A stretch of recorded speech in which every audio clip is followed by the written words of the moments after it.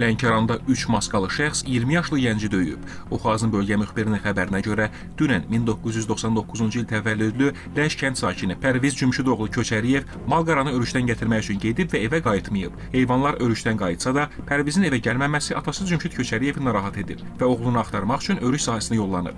Həmin yerə çatdıqda isə Pərvizin gödəkçəsini tapıb və meşəyə oğlunu axtarmağa gedib. Ata oğlunu su ötürücü kanalda başı dizinə bağlı şəkildə tapıb. Hadisə yerinə dərhal təcili tibbi yardım maşını gəlib və huşsuz vəziyyətdə olan gənc Lənkəran rayon mərkəzi xəstəxanasına çatdırılıb. Reanimasiya şöbəsində müalicə olunan gəncin kəllə beyin travması aldığı bildirilir. Sonradan huşu yerinə qayıdan Pərviz 3 şəxsin onu döydüyünü deyib. Həmin şəxslərin üzündə maska olub. Faktla bağlı Lənkəran şəhər rayon polis şöbəsində cinayət işi açılıb. İstintaq davam edir. Lənkəran rayon polis şöbəsinin əməkdaşları sentyabrın 27-sində Leş kəndi sakinini döyərək su kanalına atan 3 maskalı naməlum şəxsin axtarışlarını davam etdirir. İndiyə qədər aparılan axtarışlar müsbət nəticə verməyib. Bu barədə Oxaza rayon polis şöbəsindən məlumat verilib. Qeyd edək ki, 20 yaşlı çoban Pərviz Köçəriyev atası su kanalından bağlanmış şəkildə tapıb. Ata oğlunu sürü otlaqdan çobansız qayıtdıqdan sonra axtarmağa başlayıb. Oğul maskalı şəxslər tərəfindən döyüldüyünü deyib. Daha doğrusu, sözü gedən şəxslər maska əvəzinə başlarına qara qadın corabları keçiriblər. Bununla yanaşı təcavüzkarlar heç bir şey tələb və izah etməyiblər.